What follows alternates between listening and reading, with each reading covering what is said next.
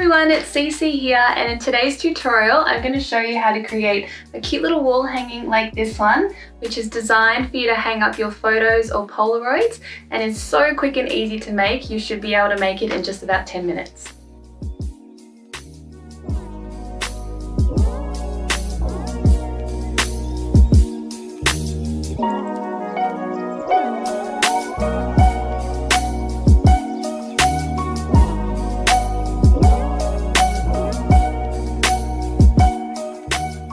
So the idea of this wall hanging is that you've got these areas here where you can grab a little photo and just come along and find a spot that you like with a little mini peg and peg it onto the wall hanging and it's a really really cute way to display your photos up on a wall.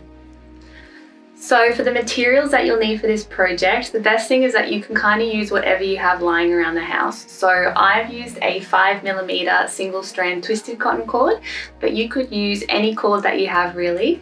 And I've also used two bits of dowel for the top and the bottom here, but you could also use a piece of stick from the garden or some driftwood, just whatever you really like the look of.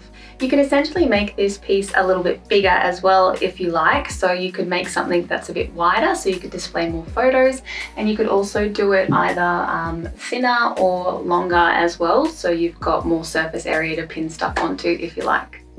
So I'll leave a list of all the materials that you'll need in the description below and I'll also mention what you'll need as we're going through the project throughout the video.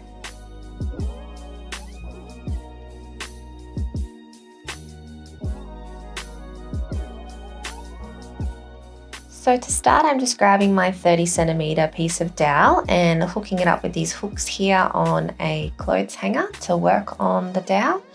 And I'm taking my first two meter cord and I'm just bringing the two ends together and using them to find the center point. So I'm folding the cord in half and then with this center loop here, I'm taking that over the dowel to create a lark's head knot. So I've just attached that cord to the dowel like so. And I just need to repeat that with all of the two meter cords. So again, I'm folding my next cord in half and then using the loop at the center to create a lark's head knot around the dowel. So depending on how long your dowel is will depend on how many cords that you're going to attach. But I am attaching 10 cords today to my 30 centimeter piece of dowel. So you want to make sure that the number of cords you're attaching to your dowel is an even number of cords. And what you also need to do is just group these cords in groups of two with a little bit of a gap in between each group of two cords.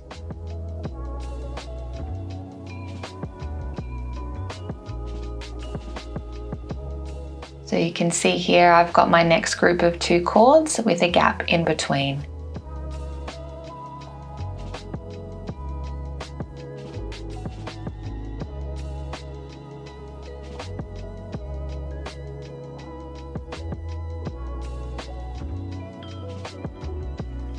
So now I have all 10 of my cords attached to the dowel using the lark's head and I've grouped them into groups of two.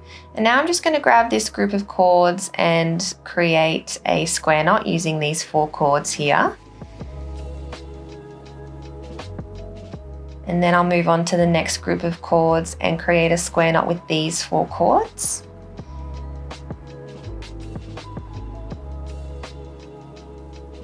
And then again, moving on to the next group of four and creating a square knot. And you just want to do that with each group on the dowel. And if you don't know how to create a square knot, I do have a tutorial available online. So make sure you check that one out. I'll leave the link in the description below. So now that that's all done, we're going to create a second row of square knots, which sits underneath these other square knots up here. So I'm just grabbing two cords from one square knot and two cords from the adjacent square knot and I'm using these four cords to create a square knot underneath. You also want to leave a bit of a gap between this square knot and the square knots above it. So this will just leave room for us to attach our photos to the gap there. And so now I'm then going to create another square knot and I'm just using the next four cords over and I want to line up that square knot so it sits level with the square knot that I made previously. So you want this to be kind of as straight as you can get it. Um, you may wish to use a ruler and make your gaps all exactly perfect, but in this circumstance, I'm just kind of eyeing it off as best I can and making it look straight. And so just continuing across the length of the dowel, I'm taking every group of four cords and creating a square knot with those four cords. So because I have 10 strings, I'll be left with four square knots on my second row like so. And now what we've created is essentially just an alternating square knot pattern. This last square knot here looks a little bit lower than the others, so I'm just going to quickly adjust it here. And so now we just want to create another row of square knots. And so I'm starting with the first four cords on the left here and creating a square knot with these four. And I just want to make sure that I'm creating the same sized gap between this square knot and the row of square knots above it. So I'm trying to match the gap here with the other gap that I made earlier so that it sits nice and even. And so now just moving on to the next four cords in the group and I'm going to create a square knot with these four cords. And again, just wanting to make sure that this gap looks the same size as the gap above it, just making sure that my square knots all sit in a nice straight line. So now I'm moving on to the next four cords in the group and creating another square knot. And I'm just going to create a square knot with every group of four cords until I have a full row of square knots here as well.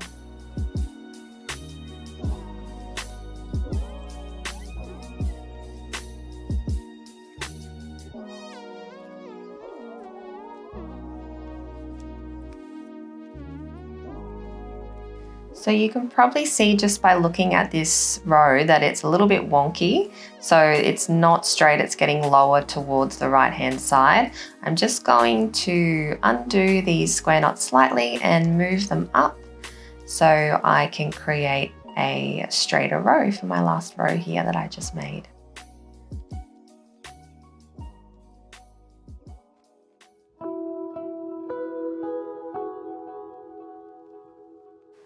Alrighty, that's looking a lot better now. And so essentially we're just going to repeat this same pattern over and over again, creating this alternating square knot pattern for the full length of our piece here.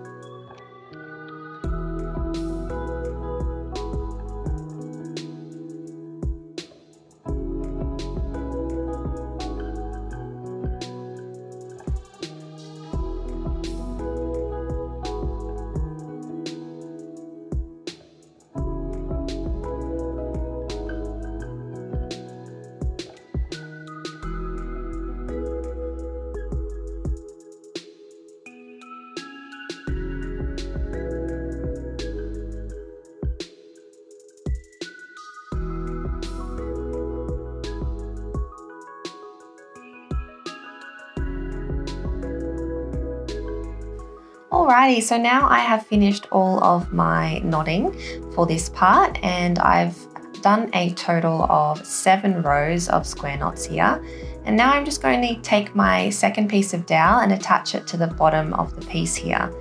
And to do that, I'm just going to create a double half hitch knot around the dowel using every single cord I have here in the piece. So you can see I'm holding the dowel in front of the piece and then wrapping the cord around the dowel, pulling it through and then pulling it nice and tight.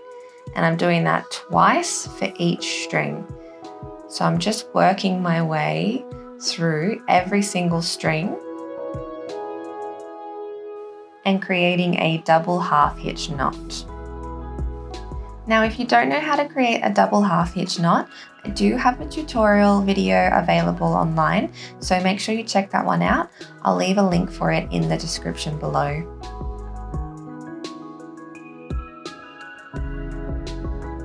You also want to make sure that you're pulling your strings through so that the dowel is sitting right under that last square knot.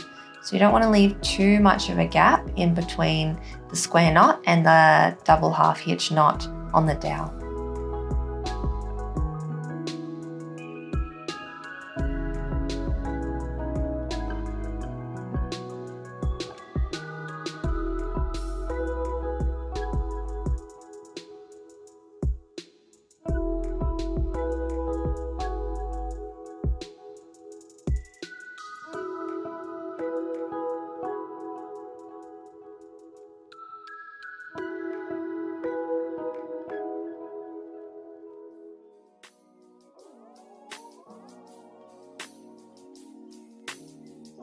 So now I've attached all the strings to the dowel and I'm just going to fill in the gaps in between the cords now using some more cord. So I've got some 50 centimeter lengths of cord that I'm folding in half and then wrapping around the dowel using a lark's head knot. So I'm just going to continue to wrap these 50 centimeter pieces of cord around the dowel using the lark's head knot until all of these little gaps are filled in. And I believe for myself, in between each gap, I've put about four new cords. But depending on the size of the string that you're using, you may need more or less.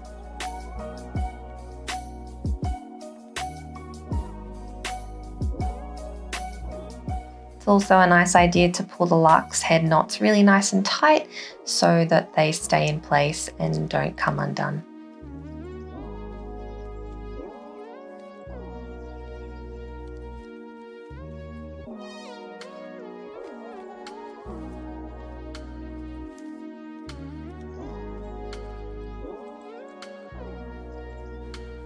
Alrighty, so now all the gaps are filled in with that extra cord that I've added.